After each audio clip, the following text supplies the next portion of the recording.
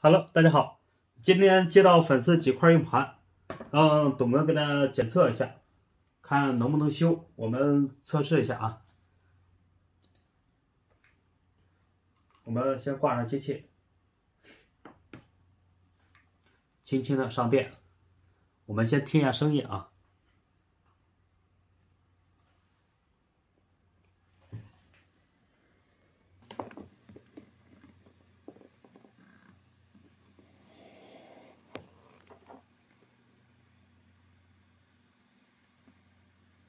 仿佛寻到正常，而且二十四灯也复位了。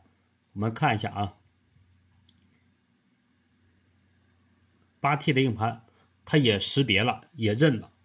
但是这种盘，我我我这样确定的说，这种盘肯定全盘坏道，也是磁头有问题。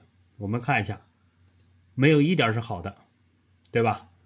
我们往后跑，跑上五十 G，跳过五十 G 也是这样，再跳五十 G。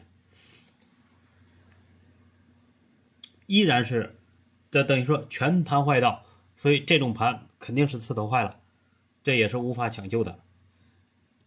因为八 T 的硬盘，我买一块盘也是一千来块钱，就是换好磁头也不能正常使用，所以说没必要修。好了，我们看下一块盘，换这块盘，我们注意听声音啊，加电。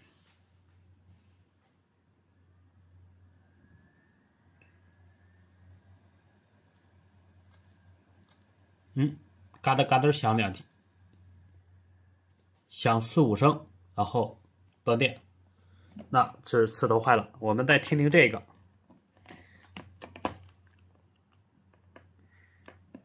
这这个声音有点恐怖啊！我们加电，嗯嗯嗯嗯嗯嗯，比拖拉机的发动机声音不小。